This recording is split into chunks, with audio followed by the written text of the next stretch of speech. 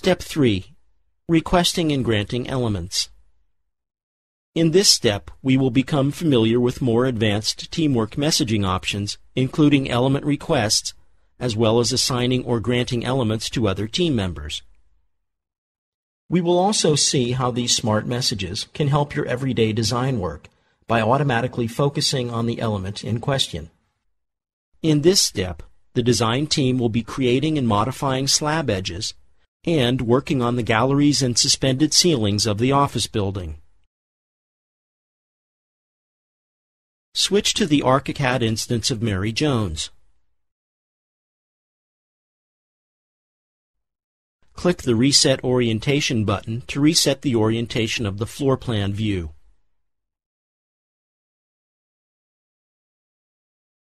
Double-click to activate the 4.3.1 Requesting Slabs preset view in the Chapter 4 folder of the Navigator view map. The 3D window will open.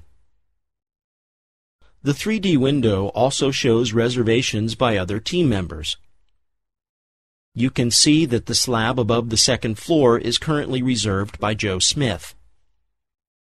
Switch to the All with Original Color option in the Colored Workspaces field of the Teamwork dialog. Click to activate the Slab tool in the toolbox. Select the Edit, select All Slabs, to select all the slabs in the project click the Reserve button on the Teamwork palette to reserve the selected slabs. The Last Reservation Results dialog appears. Here you can see that the BIM server could not reserve all requested elements. The Reserved column displays the number of successfully reserved elements. The Conflict with Others column displays the number of elements that could not be reserved because they are already reserved by someone else. As you can see, there was one element that could not be reserved due to conflict. Highlight the 3D region row. Notice the Show Conflict and Request buttons are enabled when conflicting elements are found. Click the Show Conflict button. This will take you to the 3D view of the whole model, where the conflicting element has been selected for you. This is the element we could not reserve because it is already reserved by Joe Smith. Click the Request button in the Last Reservation Results dialog. The Ownership Request dialog is displayed. Here we can write an instant message to the owner of the element or elements. Notice that ArchiCAD automatically fills out the To field and inserts a default message text which you can freely change if you wish. You can also set the message priority as we discussed earlier. Click the Request button to send the request message to Joe Smith. It is important to know that ArchiCAD automatically associates such request messages with the requested element or elements so the other team member can easily view the requested elements on the floor plan or in 3D, and even release these with a simple click. Click Close to leave this dialog. Switch to the ArchiCAD instance of Joe Smith. Switch to the To Do category and double-click to open the message that has just been received to view its content. The Ownership Request dialog opens. Here you can not only read the message, but also perform various follow-up actions with just the click of a mouse. Let's review the possibilities. Click the Show button in this dialog to display the requested element. The 3D view opens with the requested slab automatically selected. Now we can easily make a decision whether to grant or deny the requested element, or close the dialog if we want to handle this request later. Click the Grant button. the element is granted to Mary Jones. The hot spots of the slab immediately show that it no longer belongs to Joe Smith. A grant message is also sent to Mary Jones automatically. Once we grant or deny an ownership request, its message will be automatically moved to the completed folder.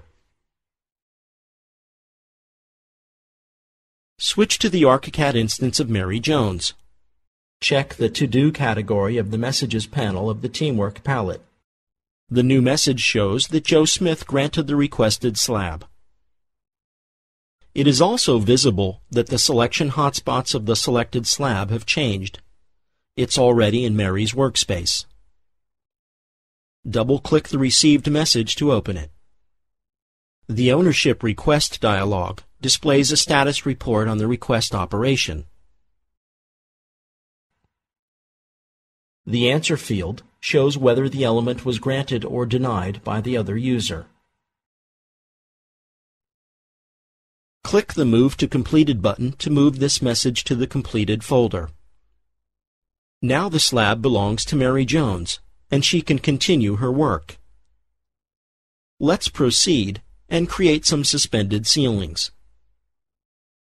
Double-click to activate the 4.3.1 Requesting Slabs preset view in the Chapter 4 folder of the Navigator view map. Use the Escape key to deselect any selected elements.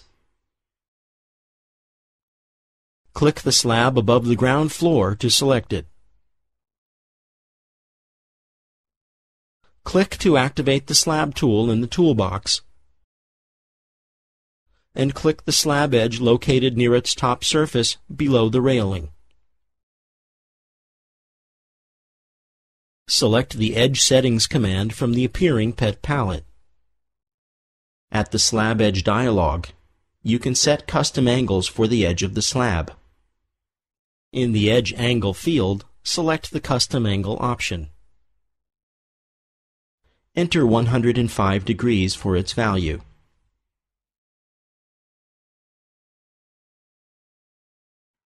Click OK to accept these changes. Set the same slab edges of the two other slabs above the first floor and the second floor.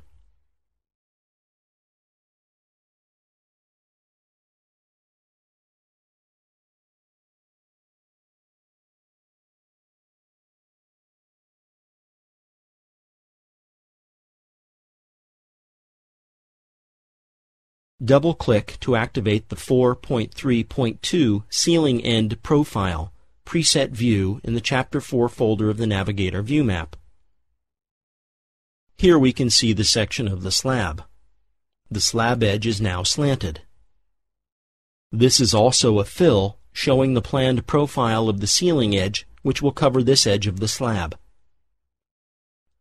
Now we will assign this element to Joe Smith in the name of Mary Jones. We will also send him a message asking him to create these ceiling elements. In addition, we will send him instructions on how to create the necessary 60 by 60 centimeter ceiling grid.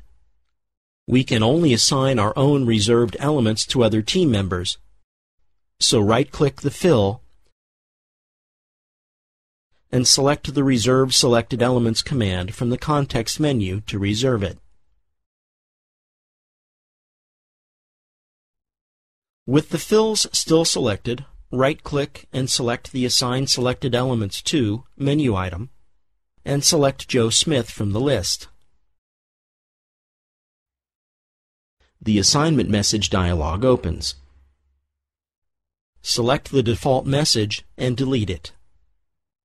Then type Joe, please create beam profile from this fill and then use these profiled beams to provide a closing structure for the edges of the suspended ceiling.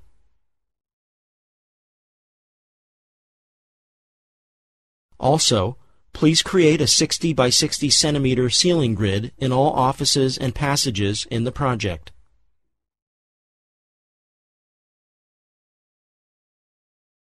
Finally, click the Assign button to send the message to Joe.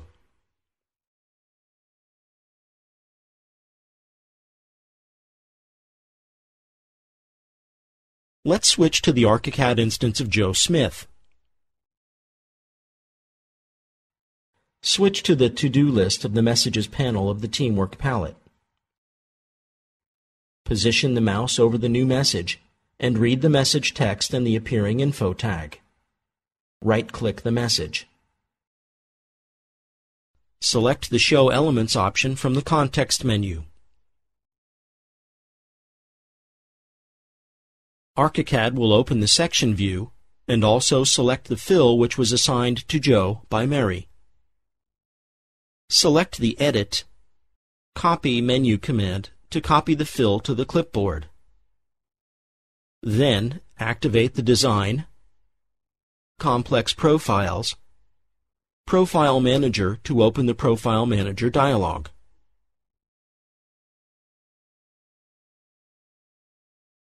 Click the Edit Chosen Profile button to activate the Profile Editor window.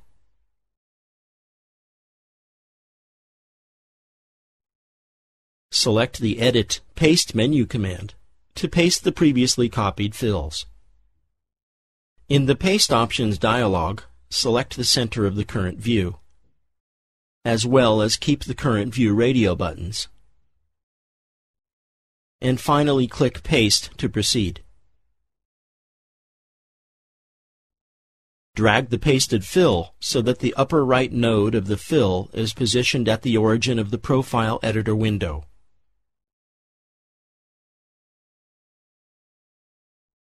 Finally, click Elsewhere to complete the paste operation. Click the Store Profile button. Enter Slab Edge Profile for the name of the new profile. Then click OK to store it. Close the Profile Editor window. Close the Profile Manager palette.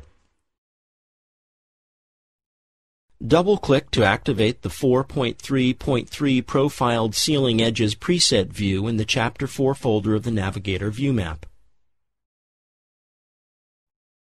Click to activate the Wall tool in the toolbox. Click the Wall Setting button in the info box to open the Wall Default Settings dialog. Click the Favorites button to open the Apply Favorites dialog. Select the slab edge profile favorite from the list and click OK to load its settings. Click OK to proceed.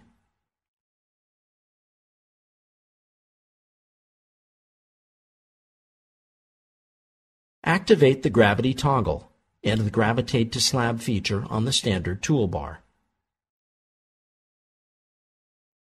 Click elsewhere to deselect the slab. We will use the two endpoints of the slanted slab edges to apply the previously created profiles for the closing edge of the suspended ceilings. With the gravity feature activated, click the left end of the slanted slab edge above the second floor to define the start point of the ceiling closing profile. Then, move to the other end of the slanted slab edge. Keep the Shift key pressed to make sure it will be at a 90 degree angle and click the right endpoint of the slanted slab edge. The tracker palette should display 7,740 millimeters for the distance and 90 degrees for the angle. We have placed the ceiling edge profile at the first slab edge.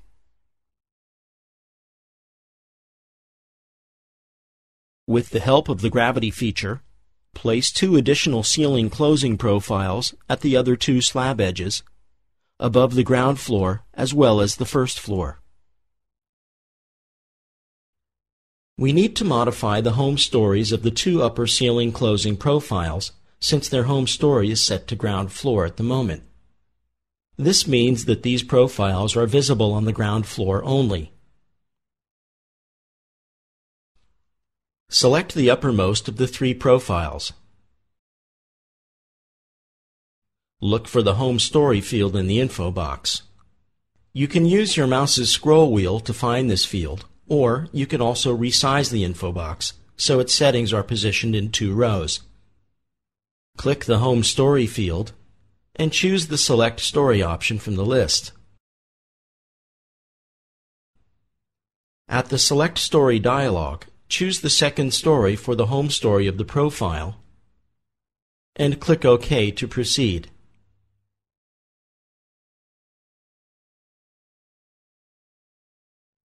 Finally, select the middle one of the three profiles.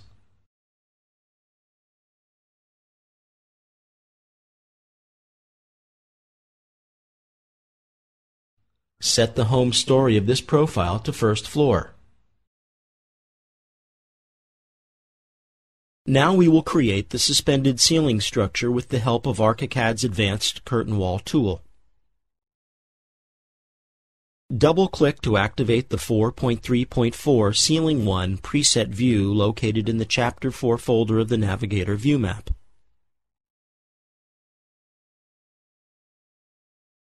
Click to activate the Curtain Wall tool in the toolbox.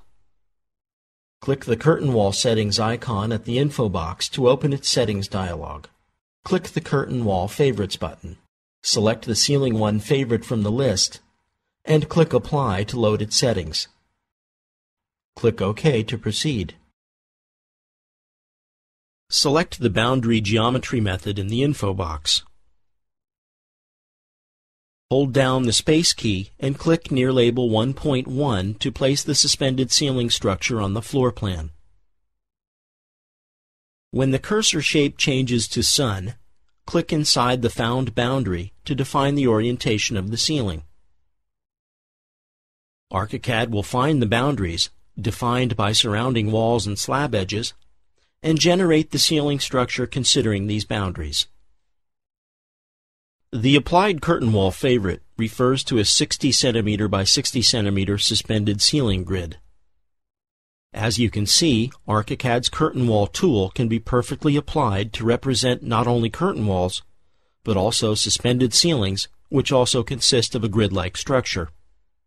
With the curtain wall tool still active, shift-click the previously placed suspended ceiling to select it.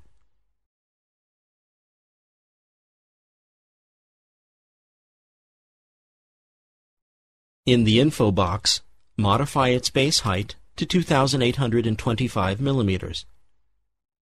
The base height is indicated with the letter B. The height of the suspended ceiling is now adjusted to its correct height. Notice that its floor plan representation is now displayed by dashed lines. We will not create all the suspended ceiling grids now.